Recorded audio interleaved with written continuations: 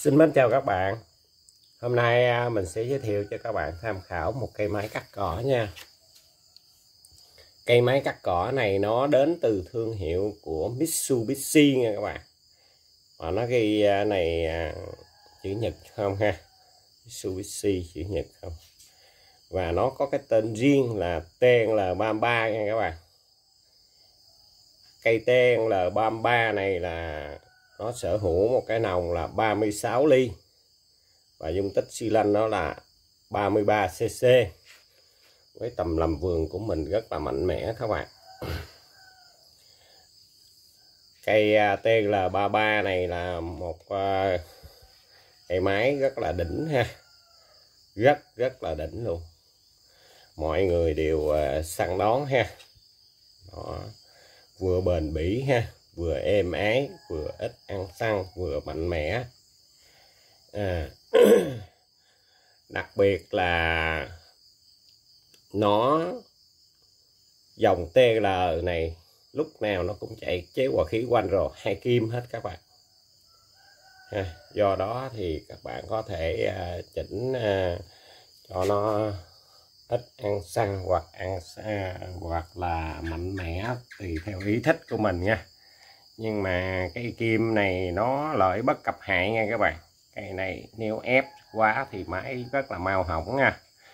Cây này các bạn hãy à, chỉnh cho nó bóc vừa phải thôi. Đừng có chỉnh cho nó bóc quá ha. Cây này là chỉnh bóc rồi các bạn. Đây, các bạn quan sát xem ha. Cây máy cây TL33 đẹp xuất sắc luôn. Đẹp từ trong ra ngoài nha các bạn rất là xuất sắc luôn. Các bạn quan sát xem. Nó mang một cái chụp giật thường nha các bạn. Dòng TL33 là không có chụp giật trợ lực nha, mà cái chụp giật rất là to. Xài rất là bền bỉ luôn các bạn. Nắp xăng có lỗ thông hơi nha, nhưng mà nó thêm một cái đường thông hơi riêng đây các bạn. Nó là hai lỗ thông hơi luôn lắp xăng rất là đã luôn. Kính rất là kính đáo luôn, không có chảy xăng ha. Zin tất hết các bạn.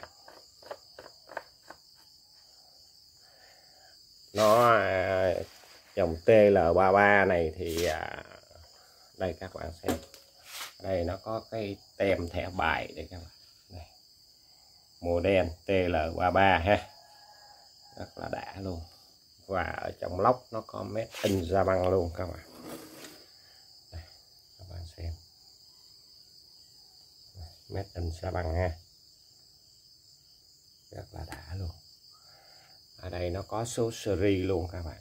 Đây các bạn có thể chụp hình lại và phóng to ra để xem ha. Nó mang một cái tum rời nha các bạn. Tum rời tùm rời, bố lớn. Tùm lớn, bố lớn. Bố đại các bạn. Lớn trong tất cả các loại bố ha. Lớn nhất trong tất cả các loại bố. Đây. các bạn nhìn xem chế hòa khí quanh rồ đây ha. Đây. ở đây nó có chữ quanh rồ đây các bạn. Các bạn có thể xem ha. Đây.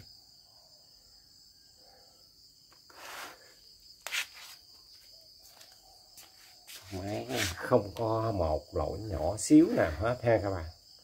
Một lỗi nhỏ cũng không có luôn. Rất là đẹp luôn. Tay nắm nó đây. Dây ga nè, có tích hợp công tắc ha. Luồn vào cái dây rất là đẹp ha. Rất là lịch sự luôn. Móc dây đeo ở đây. Cụm ở đây tay tay ghi đông nó bằng sắt xi nữa các bạn rất là đẹp. Tay nắm trái nè tay nắm phải đây các bạn. Tay nắm phải đây tay ra đây ha rất là nhẹ nhàng. Và tay nắm, nắm ở đây nó có tích hợp cái công tắc ha vậy là tắt nha các bạn. Về xanh là nổ nha về trắng là tắt về xanh là nổ nha. Đây các bạn quan sát tiếp.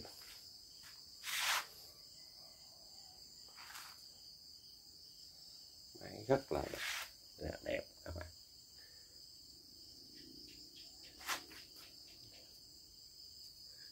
Cần láp đây các bạn. Rất là đẹp luôn.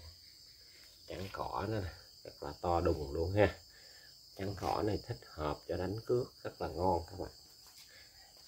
Một phía dài một phía ngắn các bạn. Phía bên này nó trắng cỏ nè nó dài ha dài hơn bình thường. và cái cùi, đặc biệt cái cùi này. Cùi này không thể nào không nói các bạn. Rất là to nha. Cần láp này là cần láp 26 nha. Cùi rất là to. Đây các bạn nhìn xem. Rất là to nha. Và đặc biệt là nó có siêu chống dính cỏ luôn các bạn. Tất cả mấy cái cái chi tiết này bằng inox hết nha các bạn. Siêu chống dính cỏ. Đây, có chén ốc ngược từ dưới lên các bạn quan sát xem ha. Rất là đỉnh không còn một khe hở nào nhỏ xíu cũng không có nữa các bạn. Và ở dưới này, ở dưới này nó có siêu chống mài mòn luôn các bạn. Con ốc này là ốc 17 nha các bạn. Ốc 17 tiếp 17 mở mới được nha các bạn. Siêu chống dính cỏ, siêu chống mài mòn luôn. Đây các bạn quan sát cùi nó nè. Rất là đã luôn cái cùi là xứng đáng giá trị cái máy luôn các bạn.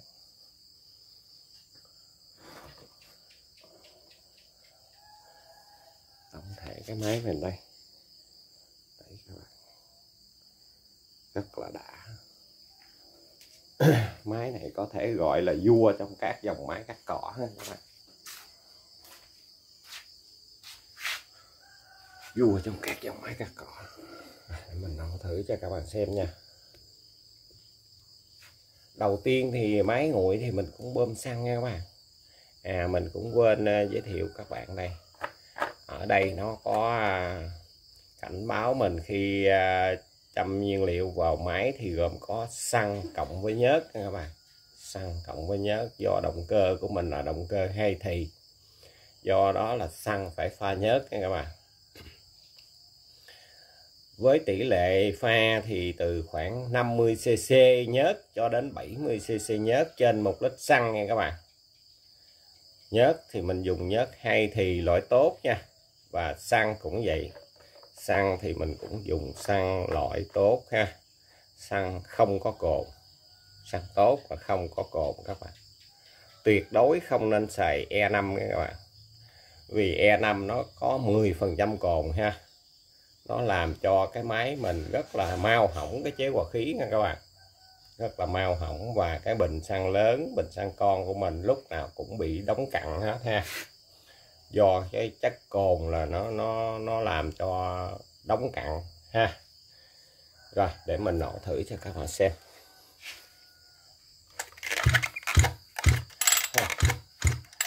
Rất là ấm áp các bạn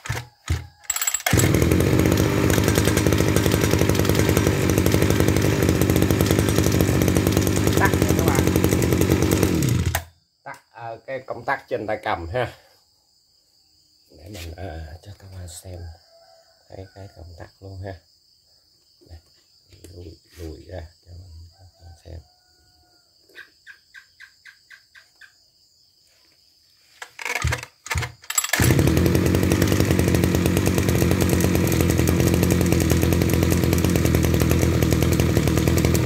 tắt nha các bạn nổ nha rồi để mình nổ lớn cho các bạn xem nha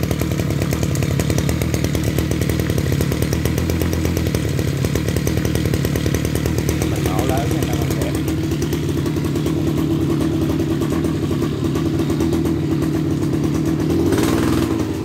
bắt bố rất là sớm luôn. Rất là bắt bố ha. Đó, các bạn xem bắt bố rất là sớm luôn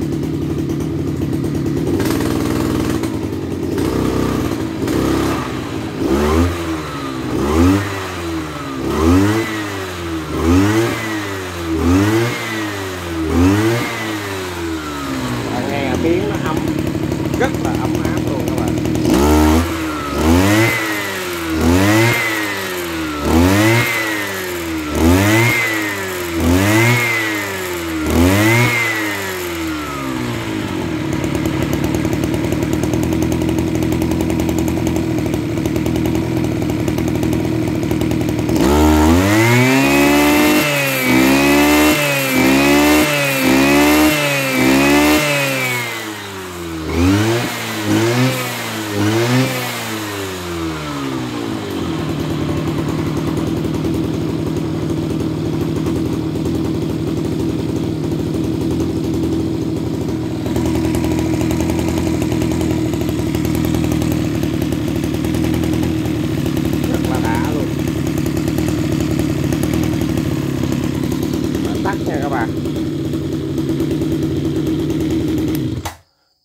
thì cái video mình giới thiệu cây à, Mitsubishi TL33 đến đây là tạm dừng nha các bạn.